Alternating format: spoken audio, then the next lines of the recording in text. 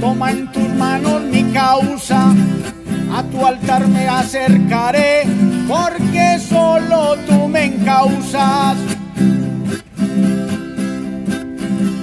Líbrame de gente impía, de todo aquel que me engaña, me han de conducir a ti, tu verdad, tu luz, mi hazaña. Solo en ti, mi Dios, tengo puesto mi esperanza, con que tú tiendas